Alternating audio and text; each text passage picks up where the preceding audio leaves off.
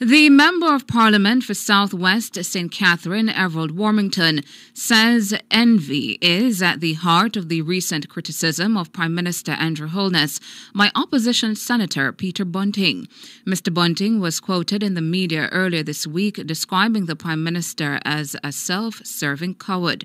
This after Mr. Holness declared that no Jamaican Prime Minister or leader of the opposition should be a dual citizen. This in light of confirmation confirmation from opposition leader Mark Golding that he is indeed a dual Jamaican British citizen. According to Mr. Warmington, Senator Bunting regards himself too highly.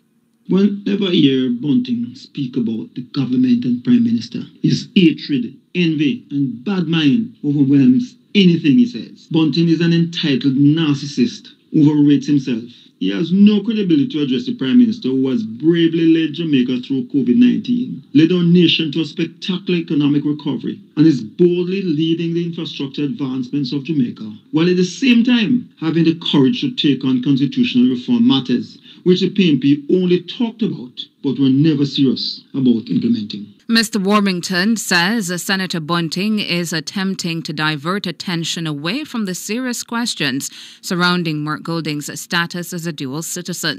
The Prime Minister has nothing to do with the actions of the British citizen, Mark Golding, which has rightly generated public concern. Mark Golding, the British leader of the Jamaica opposition, chose to one, retain his British citizenship, two, acquire a British passport, three, possibly renew his British passport as an adult, four, acquire a British visa to travel to the United Kingdom while still being a British citizen, five, possibly travel on a British visa to the United Kingdom while being a British citizen, five, blocking Jamaica's move towards republic, which, while continuing to be a subject of the very same monarch from which Jamaica is trying to withdraw. Not seeing the disrespect to the Jamaican people and Jamaican sovereignty by holding on to the privileges, protection, and personal insurance afforded by allegiance to another country while seeking to run the affairs of Jamaicans. It is the British leader of the Jamaican opposition who is acting cowardly in not being confident in the future of Jamaica to dedicate himself only to Jamaica. Bunting's vitriol should be directed to his own British party leader.